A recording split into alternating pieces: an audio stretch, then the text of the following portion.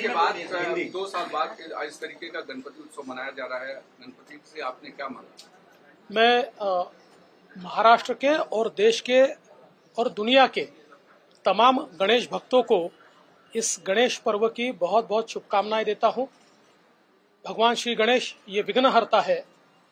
उनसे प्रार्थना करता हूँ देश के सामने और महाराष्ट्र के सामने जो विघ्न है उन सब विघ्नों का वो हरण करे और महाराष्ट्र और देश को इस स्वतंत्रता के अमृत महोत्सव के निमित्त से आगे बढ़ने की प्रेरणा और आशीर्वाद, ये भगवान श्री गणेश दे, ऐसी उनसे प्रार्थना है। हम सभी को इस बात की बहुत खुशी है कि फिर एक बार हमारे सारे उत्सव और पर्व उसी हर्षोल्लास के साथ मनाए जा रहे हैं, जैसे कोविड से पहले वो मनाए जाते थे। और आगे भी कोई विघ्न ना आए, इसी प्रकार से हम लोग इनको मनाते रहे। यही श्री गणेश के चरणों में प्रार्थना है।